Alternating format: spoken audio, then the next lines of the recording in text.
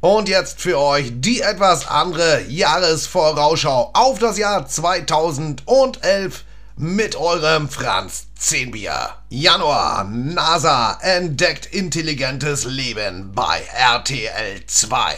Euter angenäht, erster Bauer wird Frau. Februar. Pop-Titan immer strenger. Bullen schmeißt sich selbst im Recall raus. Wahnsinn, Leute. Also das hätte ich ja nur, also echt, da hätte er echt mal, da hätte er echt mal ein Auge zudrücken können, oder? Februar, alter Schwede, Karl Gustav kauft die Reeperbahn. Urknall schuld an Hesters Tinnitus? Wer weiß das schon so genau? Ja, neue FIFA-Regel für die Frauen-WM. Trikottausch nach jedem Spiel.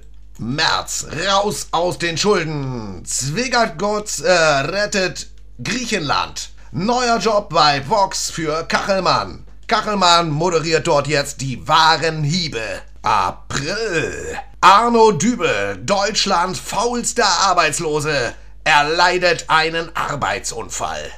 Endlich ein deutscher Royal. Papst krönt Kaiser Karl den Guten. Mai. Meine elf Freundinnen müsst ihr sein. Loda Matthäus trainiert die Frauen-Nationalelf. Das Sensations-Comeback im Sport. Jan Ulrich wird Hypotheker. Juni, Westerwelle im sechsten Monat. Ja, es wird ein Junge.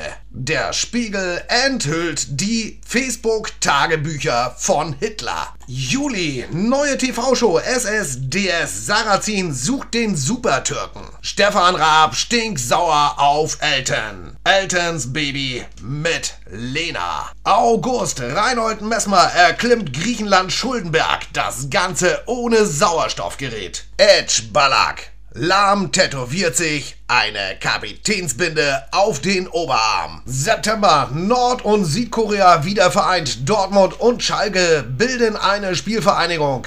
Unser Geißler schlichtet alles. Die Deutsche Bahn hat mit neuem Führungswechsel neues Konzept für die Zukunft. Emma statt ICE. Jim Knopf wird neuer Bahnchef. Oktober. Wegen dem Rauchverbot auf dem Münchener Oktoberfest wurde von den Festwirten das erste Nikotinbier entwickelt.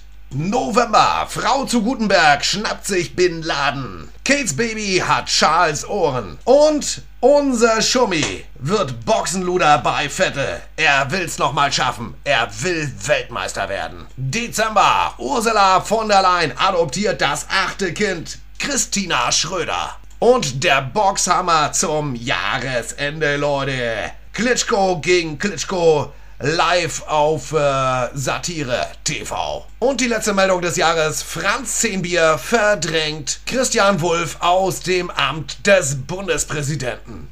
Das war mit Zehnbier durch die Woche. Präsentiert von der Parkbank.